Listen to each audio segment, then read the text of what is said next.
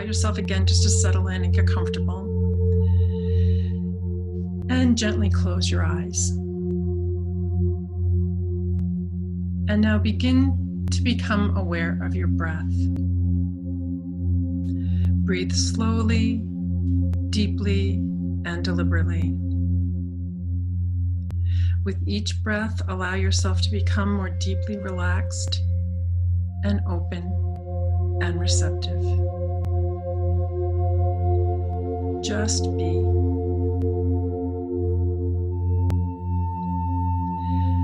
And with each and every breath, now allow yourself to relax even more and receive just a little bit more.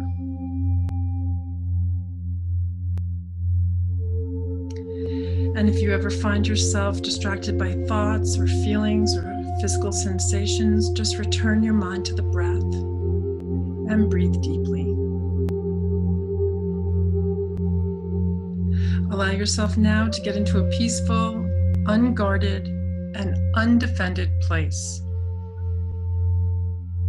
Feel your entire body relax now in this undefended space of peace and ease that you are affording yourself now.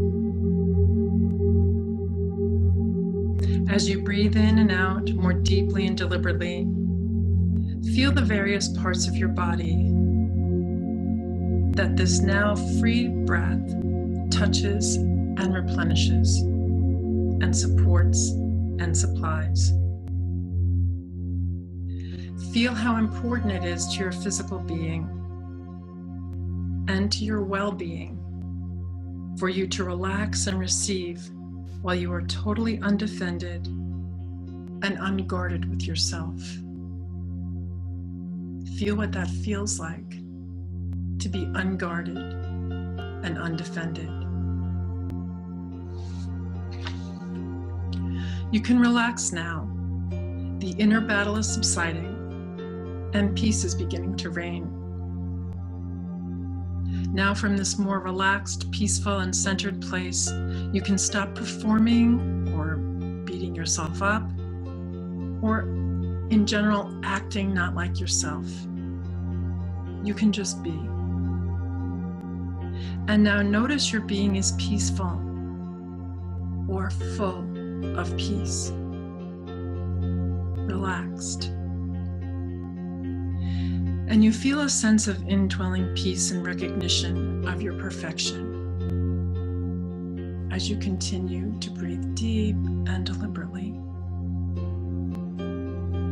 Now, from the state of ultimate recognition of who you are, allow your next thought to be entirely present and loving and whole.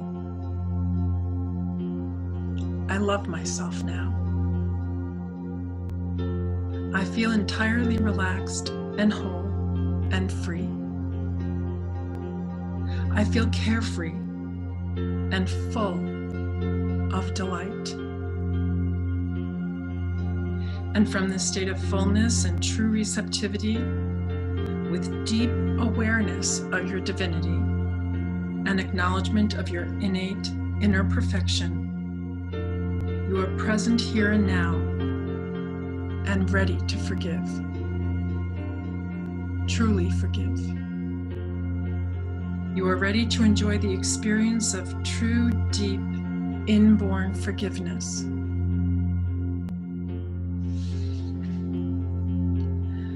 Now think of someone you do not like. Someone who irritates you or who would cause you to feel anxious or uncomfortable if you should meet them someone you actively despise or merely try to overlook. It doesn't matter what the form your anger takes, you've probably chosen this person already. This one who comes first to your mind will do. Now see them in your mind and look at him or her for a while. Try to perceive some light in them somewhere. A little gleam which you had never noticed before. Try to find some little spark of brightness shining through the ugly picture that you hold of them. Look at this picture till you see a light somewhere within it.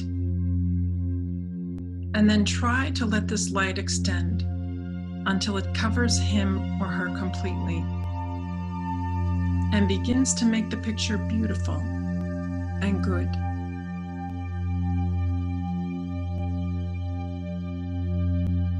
Look at this changed perception for a while. Now turn your mind to one you call a friend. Try to transfer the light you learned to see around your former enemy to this one, to this friend. Perceive them now as more than just a friend to you. For in this light, their wholeness, their holiness, shows you one who you could easily call your Savior, saved and saving, healed and whole.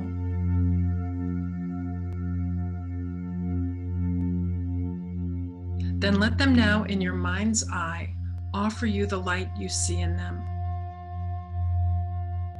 Now let both your enemy, in quotes, and your friend unite in blessing you with what you gave to them. Now you are one with them, and they with you. Now have you been forgiven by yourself. Do not forget the role forgiveness plays in bringing happiness to every unforgiving mind, with yours among them. And from this place of peace and ease and greater recognition, tell yourself this impactful truth from A Course in Miracles. Forgiveness is the key to happiness. I will awaken from the dream that I am mortal, fallible, and full of sin, and know that I am the perfect Son of God.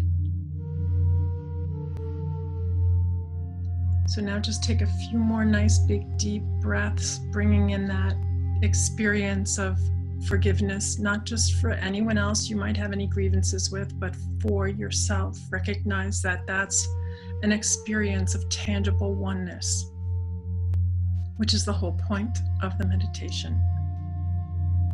So begin to breathe more deeply now as you begin to slowly and deliberately come back into the room that you're in feeling all that peace and ease and bringing that with you, bringing that state of mind, that state of awareness with you as we gather tonight for the art of mystical forgiveness.